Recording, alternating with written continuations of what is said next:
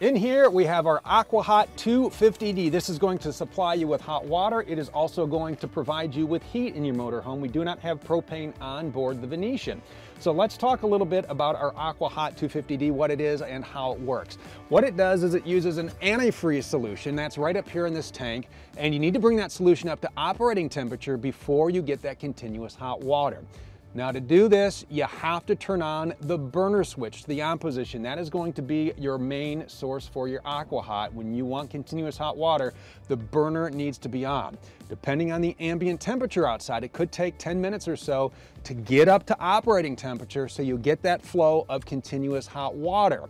Once you're there, there's an electric element you can turn on. That's gonna help maintain the temperature and it's also gonna give you some light duty some light duty hot water, maybe for a quick shower, you do have the 110. Now when you're plugged into shore power, we just showed you how to do that. The electric element is good for heat when it is not freezing out. Maybe some dishes here on the road, maybe a real fast rinse off, right?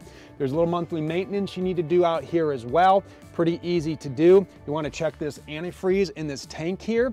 If you do need to add it, you unscrew the cap and then you add up to the hot mark there and then you'll have the right amount of fluid in there. Annually, part of that is a new fuel nozzle and you are gonna to want to replace your fuel filter.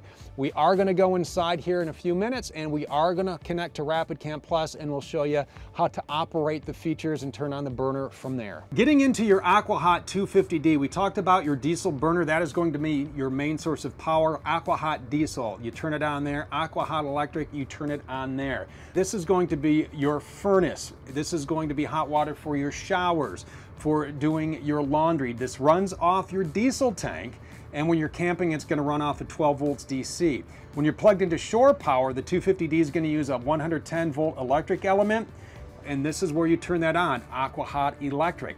So for water, you're gonna get one and a half gallon per minute flow at 110 to 120 degree Fahrenheit for getting your Venetian nice and toasty warm. The furnace is gonna give you 40,000 BTUs per hour. And again, when it's cold outside, it could take 10 to 15 minutes to properly heat up to operating temperature to get the continuous flow of hot water. So Aqua Hot diesel, you're gonna to want to take and turn that on.